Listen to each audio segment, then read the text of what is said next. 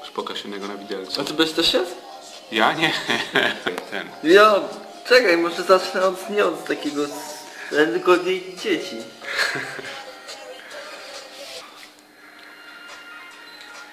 On zjadł czy udał, czy go zjadł? No zjadłem. Patrz.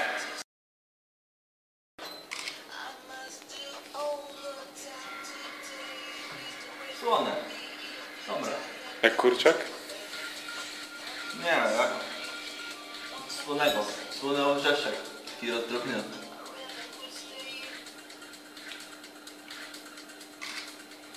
No nie jest to złe.